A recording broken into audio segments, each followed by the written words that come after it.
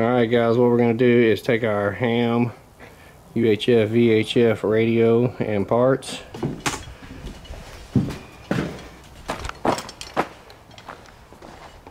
and install on said tower. I'm going to set you up over here and try to capture this and not to come to my death.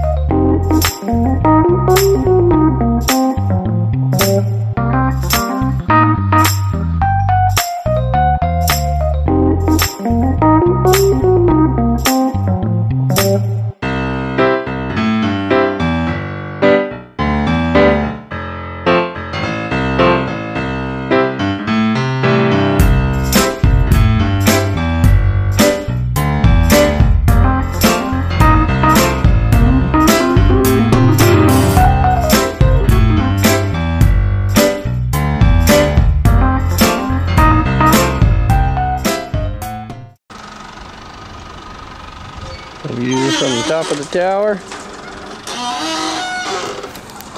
Got our pulleys on there for our flagpole, our antennas.